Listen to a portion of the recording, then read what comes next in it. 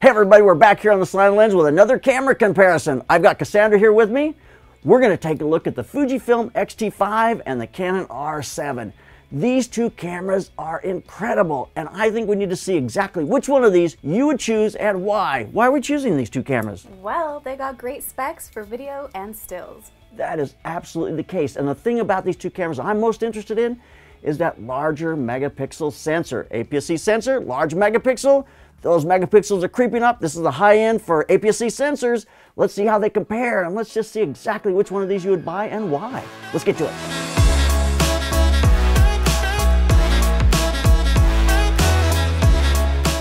Let's break these cameras down. These are both APS-C sensors. Crop factor though is very different. We have a 1.6 and a 1.5. You might think to yourself, why is that so different? It's just annoying to me. A 1.5 is bad enough. 1.6, I think it definitely goes to the Fuji. 1.5 crop factor. Now when it comes to resolution, we have a 32.5 megapixel sensor here and we've got a 40.2 megapixel uh, sensor here. It's the same sensor as on the X-H2, which is a beautiful high resolution sensor. When I looked at the picture quality test though, I was having a hard time seeing it, but that's coming up. So when it comes to megapixels, Fujifilm wins. Price is a big deal. This is $1,499. This is $1,699. So it's $200 more for that Fujifilm. That's going to definitely go to the Canon.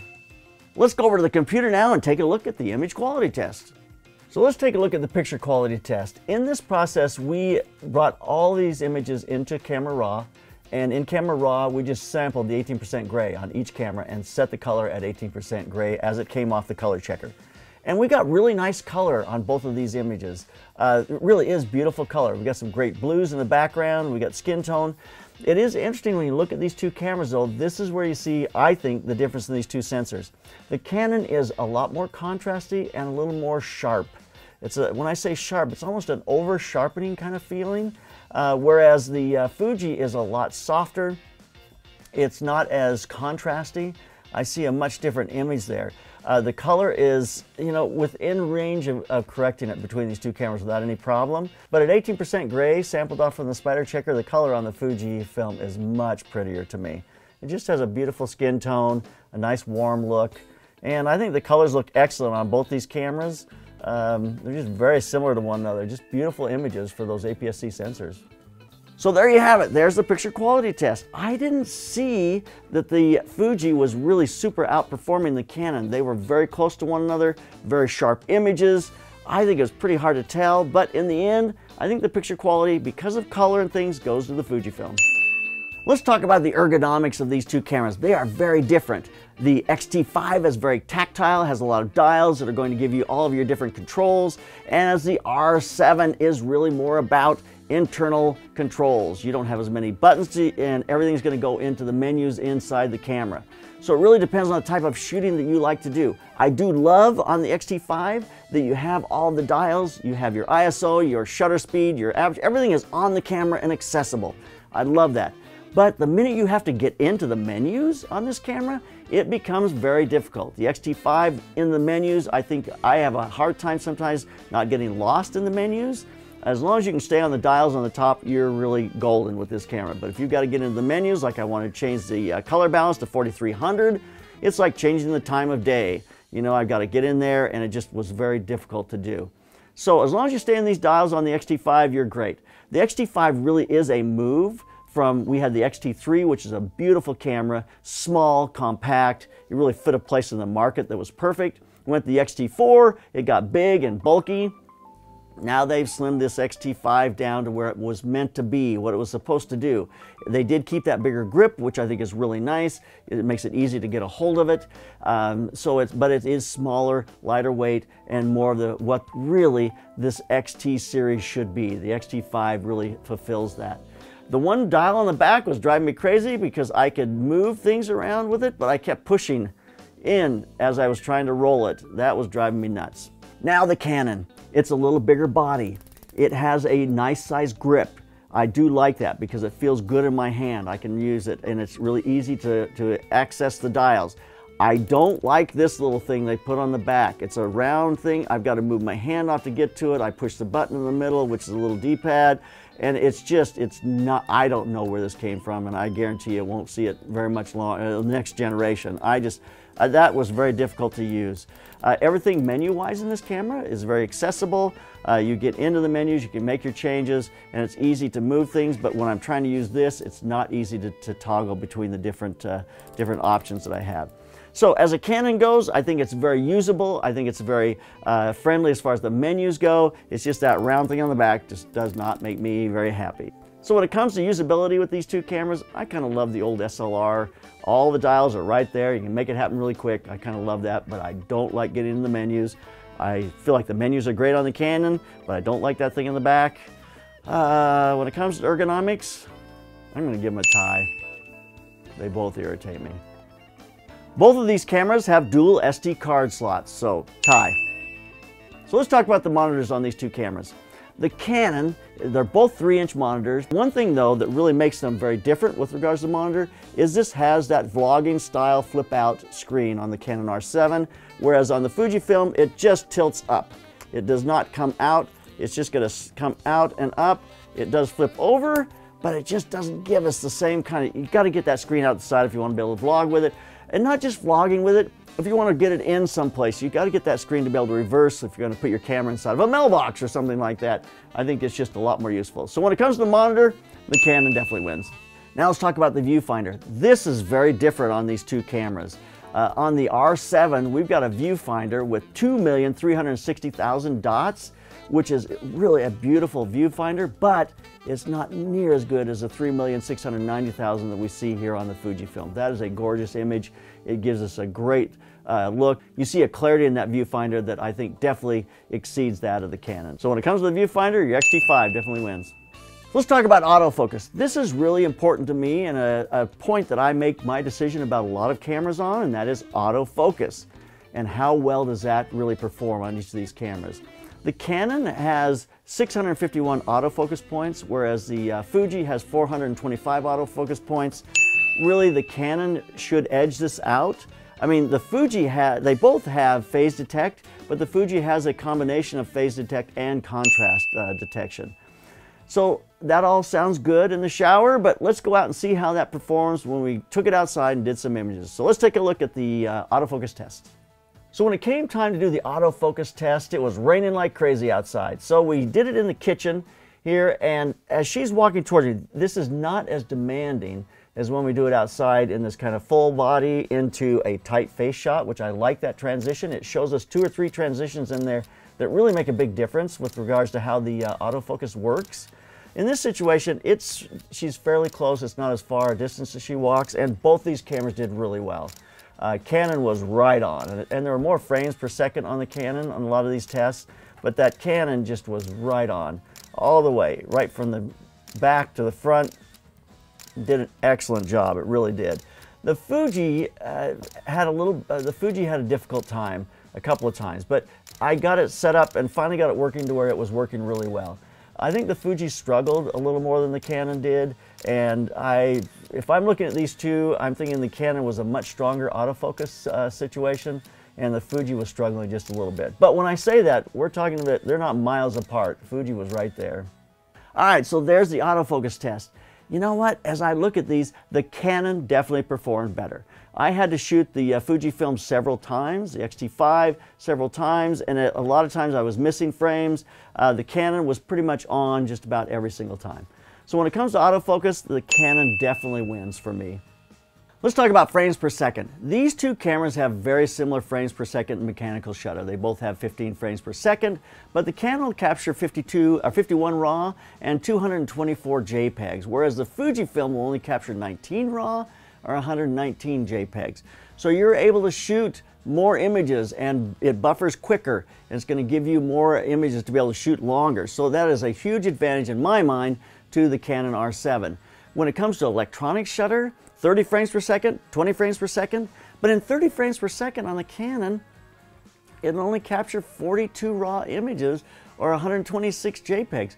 It doesn't capture as many images before it has to buffer. So I'm not so sure how the electronic shutter is that much of an advantage because you can get bursts in that a mechanical shutter and just keep buffering. It's going to buffer quicker. It's going to be a much better issue. Plus, you're getting rolling shutter on this electronic shutter on both these cameras because they have single, uh, they don't have stack sensors.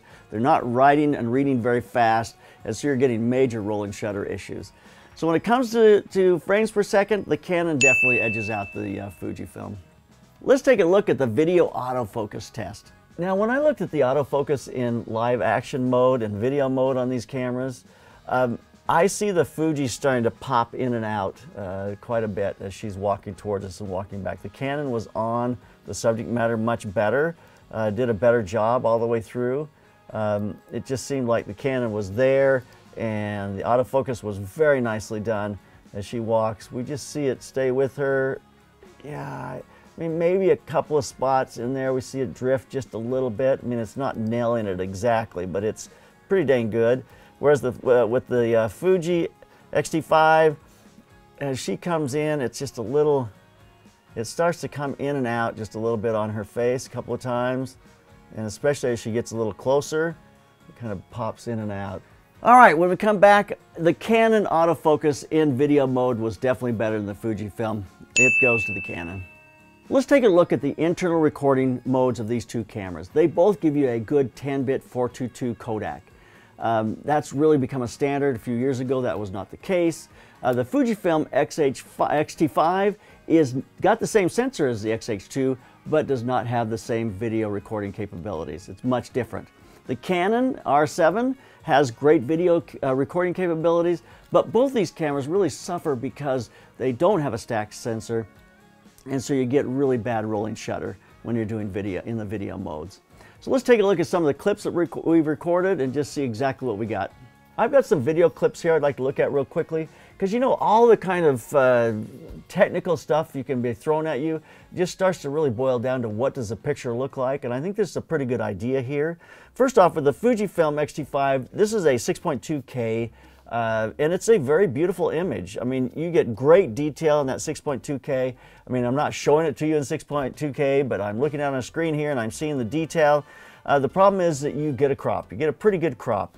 I think the oversampled 6.2K to 4K uh, is a nice, uh, beautiful image. Um, it is giving you a bit of a crop. If you go back just to the 4K, uh, um, it doesn't have a crop. We're getting a wider image, but the quality is not quite as high. Is this quality bad? No. It's really interesting when we start talking about quality on this level. The 4K from the X-T5 is going to play absolutely fine if you're doing stuff for social media, if you're doing stuff for Instagram and, and YouTube, all those kinds of things are going to be great. Do I like the uh, 6.2K? I do. Do I like the crop? No, don't love the crop. Uh, that part about it bothers me. I would probably shoot on this camera the uh, 4K HQ uh, which gives you, it's oversampled from the 6.2K. The file is larger, which means you're going to have more problems with overheating on this camera. And if the overheating starts to be a problem for longer clips, then I would go to, uh, you know, to the HQ. So if you're shooting 4K HQ and you're having problems with overheating, you may have to go back just to the regular 4K.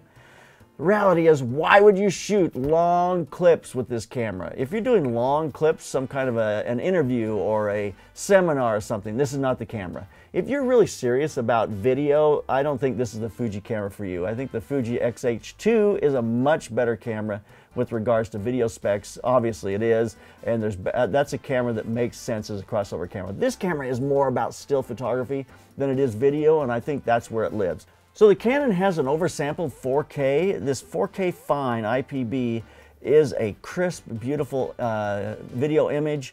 Uh, when you go to the 4K, it's not as nice. It's not. A, it's a little softish. Uh, it just doesn't give you the sharp, crisp uh, image that you get with that 4K uh, fines. It does shoot in 10-bit 422, which gives you the detail and the depth necessary to use this in so many different uh, video applications. These are lower-end video cameras. Uh, it's really not the, the place that you want to be if you're a video shooter. But if you're a crossover shooter or if you're a vlogger, this is not a bad camera. The Canon has a lot of capabilities to make that work. So there's a look at the clips. That's really what matters to me, and that is what does that image look like? And there's really beautiful images on both these cameras. Let's just wrap this up with a couple of specs here. We have C-Log 3 on the Canon, we got F-Log and F-Log 2 on the Fuji. I, I see an advantage to the 6.2K as far as being able to, to punch in, but it does come at a crop factor and a larger crop factor. So we saw those crop factors, we saw the images. These cameras are very similar to one another. I think they come head to head. They're certainly in their price range with regards to video capabilities. They are not standout uh, video cameras. I think this camera would be an excellent vlogging camera. Uh, the R7 would be a great uh, vlogging camera just because you got that pop out screen. You've got certainly codecs and uh, video capabilities here that exceed any kind of application you're going to do on uh, YouTube and those kinds of uh, platforms. So I think it really works that way. The X-T5 doesn't have the same advantage when it comes to vlogging because of that pop out screen. So these two cameras are head to head when it comes to video. I think I'm going to give them a tie. Both of these cameras have a micro HDMI output. That's a tie. That's a tie on the low end of ties. Now let's take a look at the image stabilization between these two cameras. So let's get over to the computer and take a look at that test. Looking at the image stabilization with these two cameras, the Canon is pretty smooth. Uh, you get bounced a little bit, it's definitely not a Panasonic, but uh, it's way, way better than the, the Fuji X-T5. Uh, the Canon is just much smoother as it moves through the frame. The uh, Fuji X-T5 occasionally is doing this little jump on me here, which is really interesting. I shot it a couple of times, I was kind of getting that result where it's just, just kind of shifts every so often. It's probably uh, playing off my step. It's pushing it enough and it's making it adjust, but so I think the Canon is definitely smoother when it comes to the autofocus uh, mode. Okay, that's pretty obvious to me. The Canon definitely has superior uh, image stabilization in video mode. It's much smoother. It's not jumping like it was on the uh, X-T5, so I think the R7 is going to win in that one. All right, let's take a look at the ISO test. Over to the computer we go. So let's take a look at the ISO test. For this test, we took the raw images into Camera Raw, and the only thing we changed is that we sampled off from the 18% gray off from the Spyder Checkr and we set that color for each of the uh, different cameras. So at that point, nothing else has changed, no denoising, nothing like that, and we just output the images. We didn't use the JPEGs because we don't want the internal kind of manipulation that JPEGs are getting. We just want to look at the raw images that we're getting from uh, the cameras. So this first one, we go to 400 ISO, and at 400 ISO, uh, these cameras are very similar. I think maybe the Fuji looks a little, little better. Uh, the Canon's very contrasty, and uh, and we see that when we go to 800 ISO. Now, uh, the Fuji is the Fuji is just a little softer. Uh, the noise is not as prevalent, and we get a nice transition on the nose uh, from the highlight to the shadow. When we go to 1600, look at that transition in the back there and they're both looking pretty, pretty noisy at that point. Uh, I think the Fuji is slightly ahead. I think it's just slightly ahead. Uh, when we go to 3200, uh, at 3200, I'm starting to see this kind of color uh, kind of transition happening in the uh, Fujifilm. The Fujifilm's got a little bit of red in that transition from the highlight to the shadow. And the Canon's still holding pretty good, but I'm seeing a little bit of that color uh, transition starting to happen at 6400. But overall, I think the Fujifilm is just a little, little better. I don't know. They're pretty similar. They kind of keep going back and forth a little bit on me, so I'm not sure on this one. Uh, when I go to the uh, 6400, uh, definitely the, the uh, digital noise is pretty strong at this point on both these cameras. Uh, you're getting the artifacting, but the one thing that shows up on the Canon at 6400 is you get this banding this vertical banding, and you don't see it really strongly here, but look what happens when I go to the next one, which is the 12800. That banding is really strong on the Canon. We don't see anything like that on the Fuji uh, film, uh, but the noise on both these cameras is pretty high. I mean, it's just, it is what you'd expect at 12,800. When I go to the Canon, it goes up to uh, uh 25,600. The banding is really strong in there. All right, so there's a look at the ISO test. I think the Fuji is just a little softer in its uh, transitions, and I think the, uh, the digital noise is a little better. So these cameras are very close to one another, but I think that banding on the Canon kind of pushed the Fuji uh, head just a little bit. There you have it. These two cameras were very close to each other. Sometimes the Fuji was edging out the Canon, sometimes the Canon was uh, edging out the Fuji. In the end, I'm going to say that the Fuji was slightly ahead, a slight advantage. Okay, back to the computer, dynamic range time.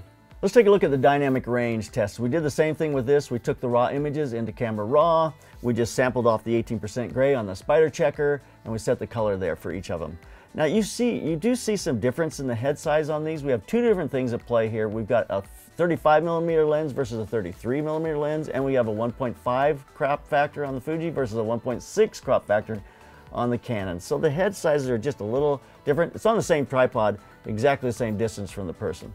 But let's look at the dynamic range. Right off on the neutral, you see in the background that the Fuji's just not holding the whites back there like the uh, Canon is. Uh, if we jump over here to the uh, uh plus or minus one stop, so we're underexposing one stop, uh, we see still, we see great rendition on the faces. Uh, there's not a lot of digital noise starting to happen.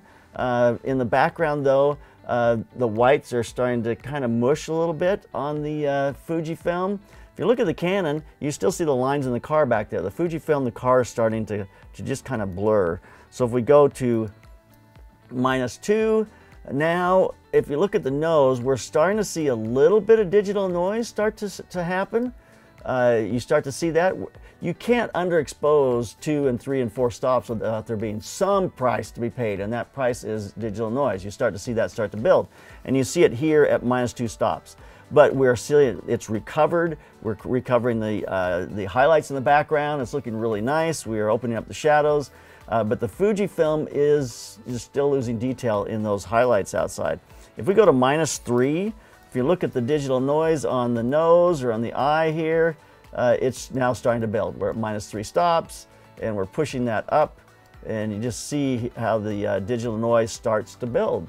And in the background, we still see we've recovered the highlights uh, on both these cameras. The Fujifilm is about where it was when we started at neutral, but the digital noise has built on both of these cameras. It seems like the digital noise is building a little bit faster on the Canon uh, than the Fujifilm to me. But let's jump up now to minus four stops. You see how that digital noise has really uh, jumped up in that trying to recover them. And it is interesting, at four stops, you know, and sometimes when these tests do this kind of thing to me, it just drives me crazy. I'm seeing better detail in the whites back there on the uh, on the uh, Fujifilm, which actually shouldn't surprise me because you're underexposing, which means you're giving more detail to the highlights back there.